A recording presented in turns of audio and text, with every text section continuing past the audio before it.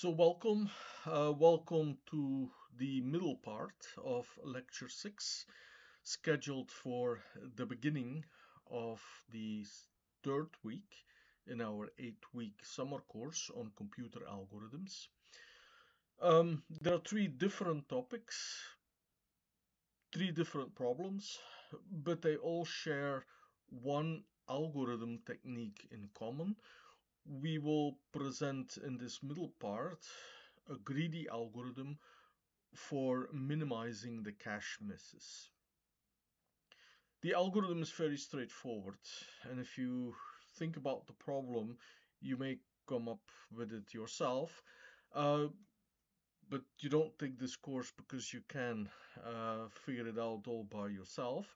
No, the purpose of this lecture is to give illustrations of an exchange argument used to prove the optimality of the greedy algorithms. So greedy algorithms make locally an optimal decision, but is this way of working greedily if is that going to lead to a global optimum? So that's actually the main question that we ask in this lecture. Okay, memory inside the computer and perhaps also inside your head is organized in hierarchies. There are things that you know immediately, um, and there are things for, for which you need to think where have I seen this before? So we um, idealize things a little bit. We have uh, data that needs to be processed. A small amount of data can be accessed very quickly and we put it first in that quick memory. All data that is processed first passes through what we call the cache. All the other data resides in main memory. So um, we use that fast memory, the cache, and uh, the main benefit is that if we need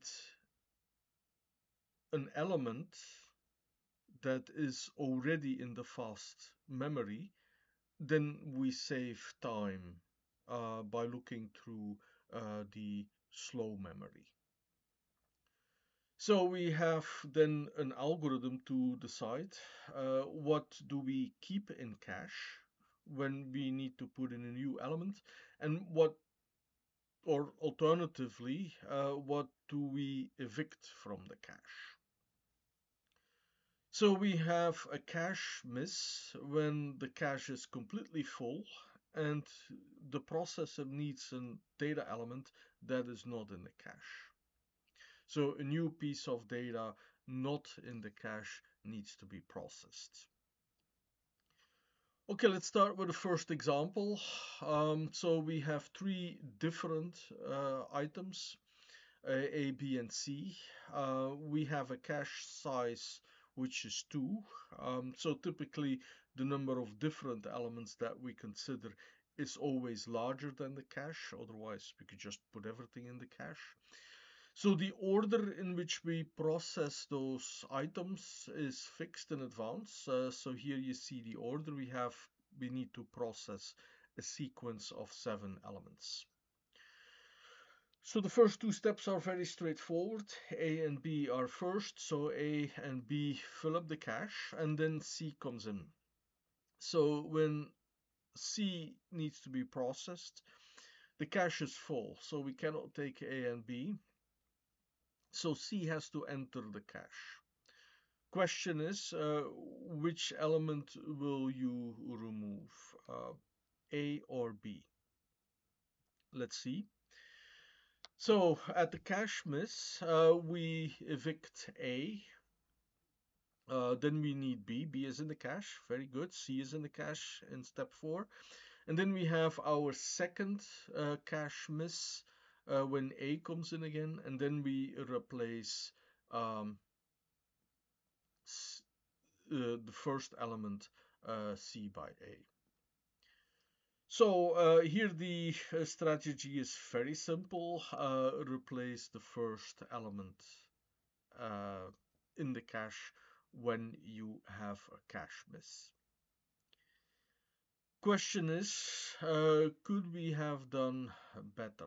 Um, so we evicted A, uh, with actually which was quite good. I mean, if we would have evicted B, then we would have had another cache miss in the second step. Um, so that would not have been all that well. So A evicting A was probably the right choice. So then uh, we had our other cache miss uh, when we needed A again. And here you can see that we probably, yeah, we probably can't do any better here. Um, so, so, but you can see there are possibilities. Uh, so there is always good to look at the brute force in the brute force. So here the simple method was evicting the first element. Uh, it's not it's not going to be a good idea. But uh, we could also evict the second element. So here there are two choices in every step. So we have uh, we have seven elements. Two of the first two steps are very simple, but then we have five uh, and five potential uh, new elements, uh, five potential choices. We have only two cache misses. Okay, so here is the greedy algorithm. Uh, you evict the element that is farthest in the future. So in the sequence of all elements that you have to process, you look for that element that is inside the cache and that is farthest away in the sequence. So that defines an eviction schedule. So an eviction schedule is an algorithm which uh, determines which items that you evict when a cache miss happens. So you also see the algorithm itself. Um, it runs, uh, so you need to process um, m elements. So you have your cache size. If the ith element is not in the cache, uh, then actually you will uh, evict, so you have to compute the farthest in the future. So it is a very simple algorithm. So running the algorithm is actually not really that difficult. Uh, it's also an efficient algorithm. It terminates, etc. But proving the optimality is the important key point here. Um, okay, of all possible ways uh, that we can evict, um, we will only evict at a cache miss. Uh, so that's actually the logical thing, but there's nothing actually that says that if we don't have a cache miss, we could already preemptively start to bring new items in. That nothing prevents us from that.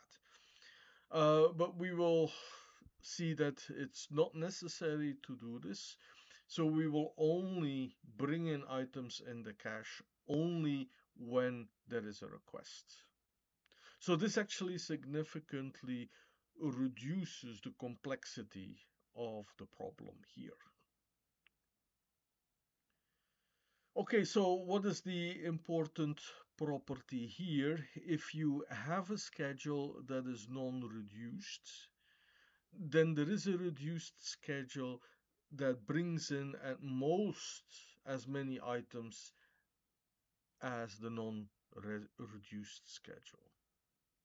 So we will not prove that property, but I can tell you that if you would bring in an algorithm, uh, an item before it is needed, you could simulate, so this would be the schedule S that is non-reduced, you could actually simulate the bringing in of that new item in that reduced schedule S hat when it is really needed.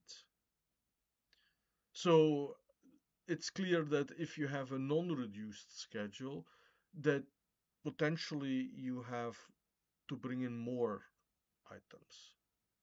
But for every non-reduced schedule, there is a reduced schedule. So the farthest in the future algorithm is indeed a reduced eviction schedule. So this already uh, reduces uh, the property.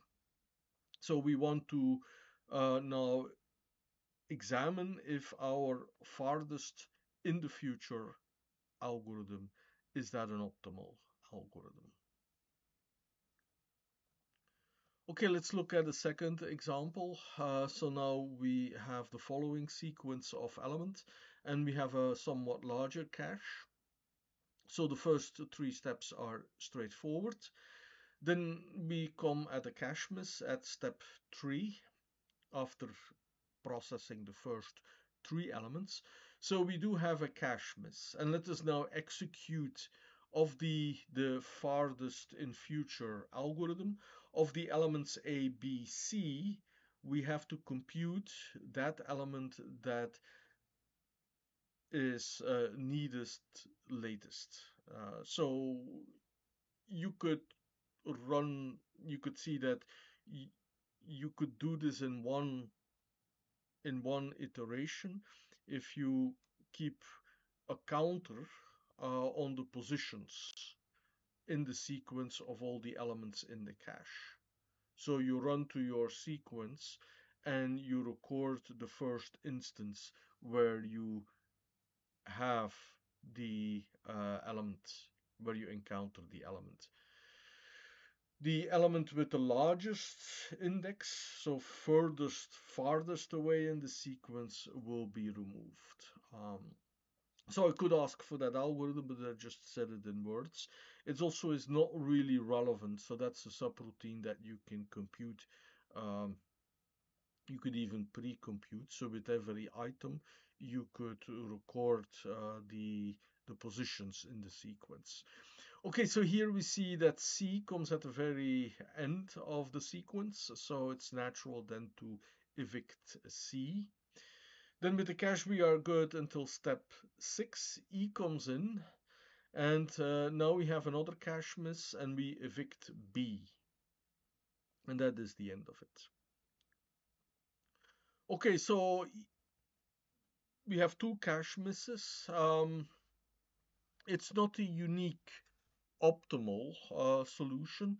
So instead of C, we could have evicted B as well. So replaced, uh, instead of replacing C, replacing B. And then uh, we would have also have done with two cache misses. Um, so at this point in time, um, so there is choice. So uh, I must say that this algorithm does not continue here, but you can continue with the algorithm. But here the point is that what I want to say is that that farthest in the future is not the only one that leads to two cache misses. So if you can get all, also two cache misses with doing something else than farthest in future, could it be possible that you have fewer cache misses in total if you do something different other than farthest in future? So that's the purpose of this example here. Okay, uh, we will use now an exchange argument. So I'm at uh, halfway of what I budgeted the 30 minutes for this middle part of this lecture 6. So uh, what is the uh, argument that we will be using? Uh, we have our schedule computed by the farthest in future. So that's the S underscore FF. So that's the one that we uh, propose as the optimal solution. But there are other uh, schedules uh, which have also the minimum number of cache misses. Now, uh, the point of these exchange arguments is that any optimal schedule can be transformed into a schedule which equals the farthest in future. In some sense, we did this already with the proposition of the non-reduced schedules. So if, if a schedule is non-reduced, well, you could you, you say that you kind of preemptively put an an item in there, but the farthest in the future will put it in there at the time when it's actually needed. So that's also a type of exchanged argument that we use there in the justification of that property. So if we can transform any optimal having the smallest number of cache misses, any optimal schedule into the schedule computed by the farthest in future, then it means that the farthest in future, it could be that there are other optimal schedules, but it the farthest in future will no more cache misses have than any other optimal schedule. And there or than any other schedule, uh, just any other schedule you can think of. And therefore we have the optimality of our greedy algorithm. Okay, let's prove this theorem now. So uh, the theorem goes by induction. So obviously we are going to have more elements to process than the size of the cache. Um, so it means then that in the base case, uh, we do an induction on a number of uh, elements, that actually the base case is very straightforward any scheduling, any uh, cache maintenance algorithm will first fill up the cache. Okay, that's the base case. We have many base cases, as many as the um, size of the cache. Okay, um, and of course also the uh, size of the cache is not zero. The sequence is also longer than the cache. Okay, so now comes uh, the induction step that we prove by a lemma. So let's look at uh, the statement of the lemma. So if we have in the first J request, so the farthest in future computed an eviction schedule, if we have that for any optimal schedule, it's the same as the um, if there is an optimal schedule that is the same as the one computed. So uh, the, the, the, the same as the farthest in future then there's also an optimal reduced schedule S prime uh, for the next request for the next j plus 1 request so you see we go induction on the number of requests Okay, so let's consider then the j plus 1 request. Uh, so we call this request D. So we have a request for element D. By the induction hypothesis, uh, both an optimal reduced schedule, the minimum number of cache misses, is the same as what is computed uh, by the farthest future, same cache. Okay, there are three cases here to consider. Um, the first case is very simple. If uh, the item in the J plus 1 request is already in cache, then there's nothing that needs to be done. Uh, everything remains the same. So S prime is then just S, and S prime is S uh, computed by the farthest in future. If it is uh, not in the cache, and if you have that the optimal reduced schedule that we have been following so far, if it's the same element as farthest in future, then we have the same situation that S prime is S and is the schedule uh, computed by farthest in future. Okay, um, if it's not in cache, then both schedules will do something different. So the farthest in future will evict E and our optimal schedule so far will evict F, and F is different from E. That's the situation uh, that we now have to examine. Okay, uh, let's do it. Um, so what do we have again? D is not in the cache.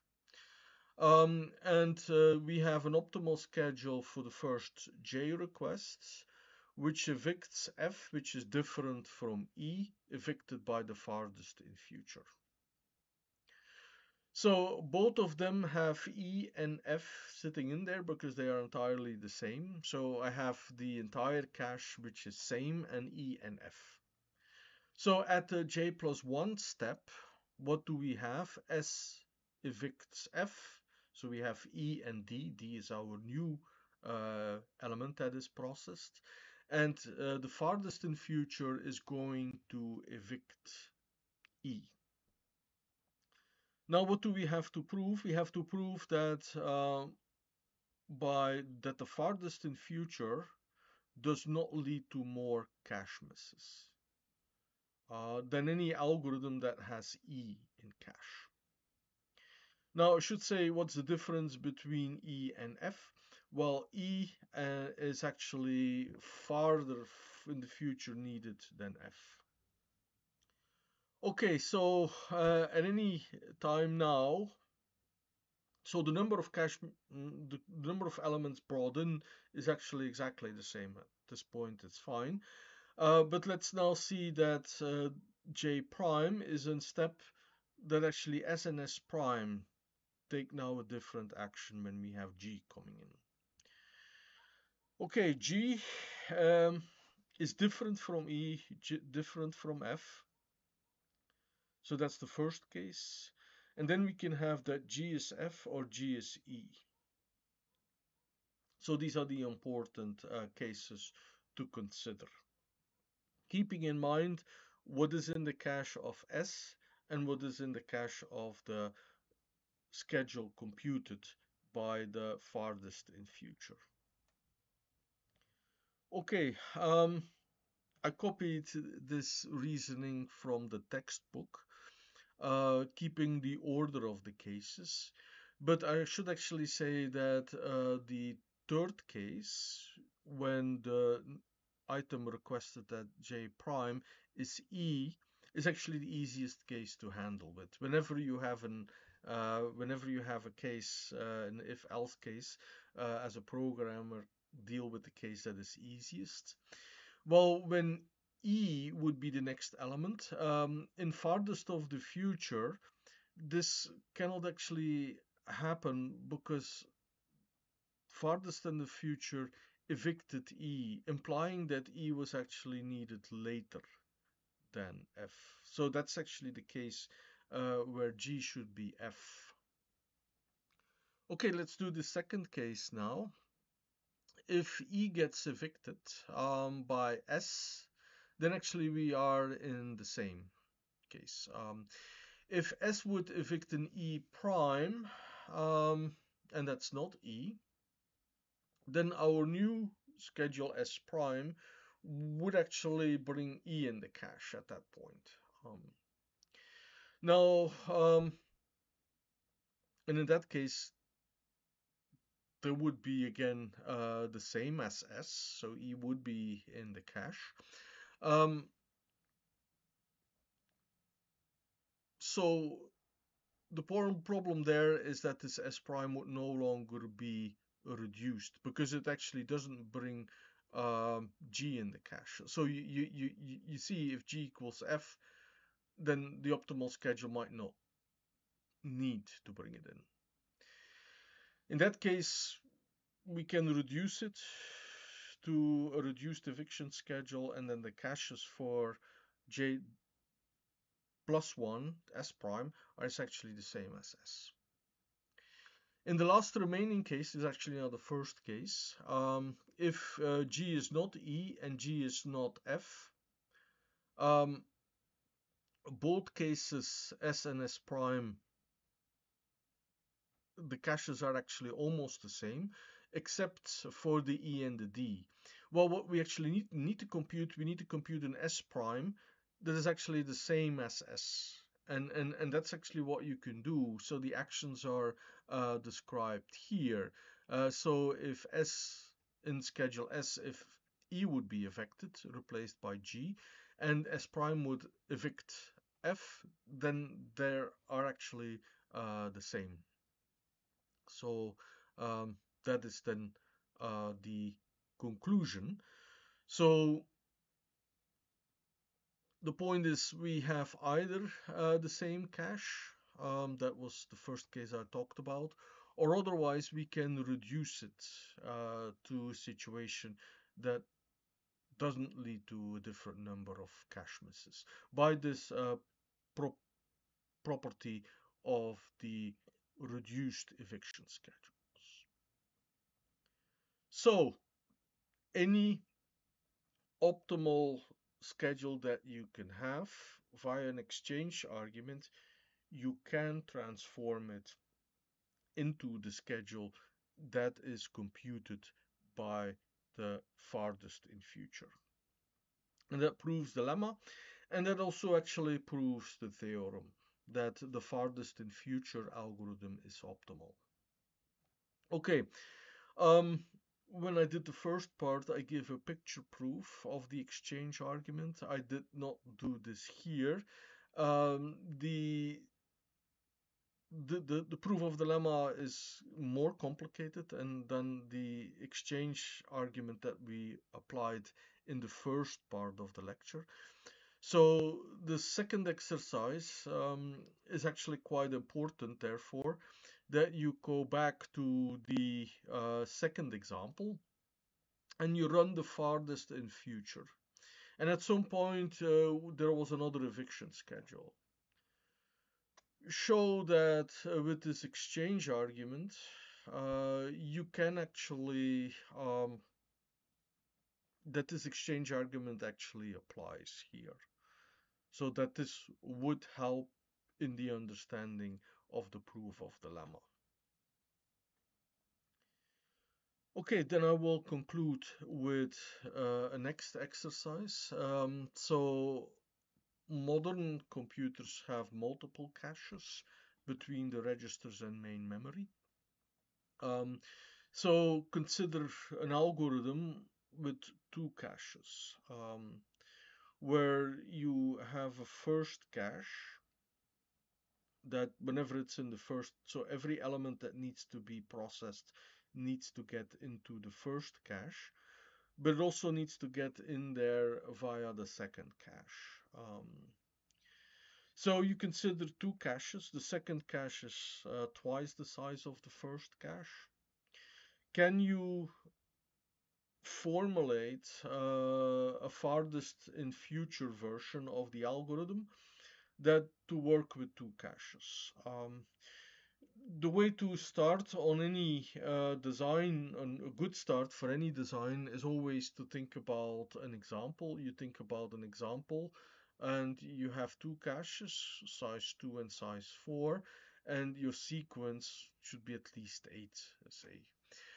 Um, develop a farthest in future strategy and reason so first of all does the farthest and future algorithm can that be formulated in this example?